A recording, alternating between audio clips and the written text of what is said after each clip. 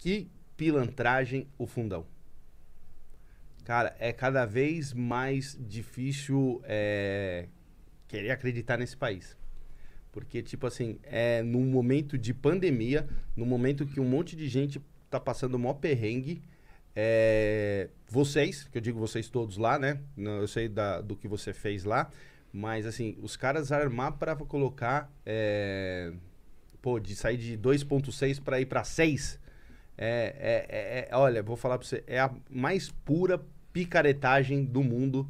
E eu vou falar pra você, eu não sei até quando o brasileiro vai aguentar, mano. É o tipo de coisa que dá, que dá desesperança, né? Porque é o que você colocou, no momento de crise, no momento de pandemia, você triplicar o valor do fundo, agora o Bolsonaro deu uma entrevista falando, ó, oh, vou vetar. Falou, opa, maravilha, vai vetar. Não, vou vetar, mas vou apresentar uma proposta para dobrar.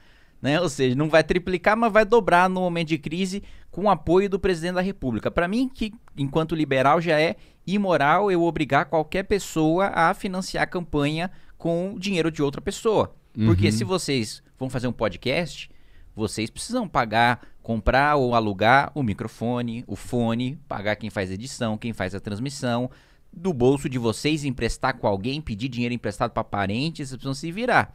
Porque eu sou um político, não preciso fazer nada disso, simplesmente pego o seu dinheiro sem te perguntar se você quer ou se você não quer dar o dinheiro e você paga cada vez mais para financiar minha campanha. Tá errado. É compulsório, né? Pra mim é um negócio imoral. Se você uhum. se sente representado por mim a ponto de querer pagar a minha campanha, você paga voluntariamente. Você acredita na causa e você vai lá e banca. Uhum. Como a gente fundou e funciona até hoje o Movimento Brasil Livre, 100% voluntário, com gente que acredita e apoia. Né? Então, primeiro, para mim, a própria existência do fundo já é imoral. Esquecendo o aumento, diminuição, a própria existência para mim deveria ir a zero.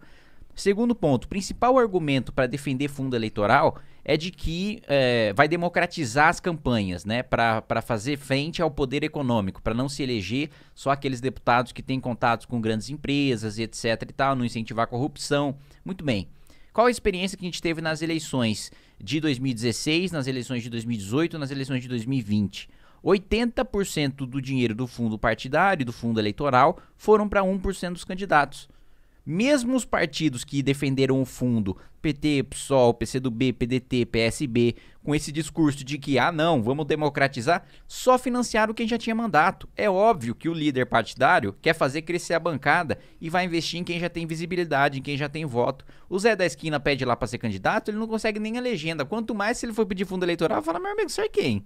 Você tá, tá louco, tá chegando aqui no partido de dinheiro pra fazer campanha. Exatamente. Então não se, não se sustenta, você tá financiando oligarquia partidária.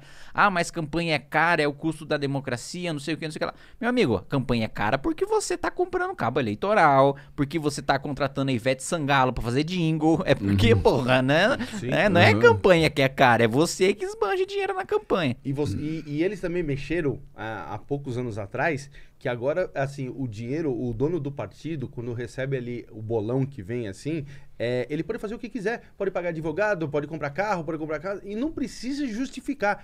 É o maior esquema de pilantragem que eu já vi no mundo, mano. Não, é um negócio assim. Não, infelizmente, quem dera, até assim, até triste falar isso para você. Quem dera esse fosse o maior do, quiçá, uhum. do Brasil, mas do mundo. Ixi, tem coisa pior tem no coisa orçamento. Pior. Tem, esse, esse é um orçamento que não bate 10 bi. Tem coisa de centena de bi que é, bom, o privilégio tributário que a gente tem, o financiamento de super salário, pô, é, é, é juiz, magistrado, desembargador, tirando 500, 600 mil reais por mês de super salário. É um negócio assim, é, é, realmente. E aí, e, e, e, muitas vezes você se sente impotente porque é uma corporação tão poderosa que, que você não consegue fazer frente sozinho, né? Eu sou, querendo ou não, né? Eu tenho meu trabalho, tenho minhas aprovações, tenho meus relatórios, meus projetos tenho orgulho de dizer né, que cumpro a minha obrigação. Eu sou o deputado que mais aprovou relatórios nessa legislatura de projetos de lei, mas ainda assim eu sou um em 513.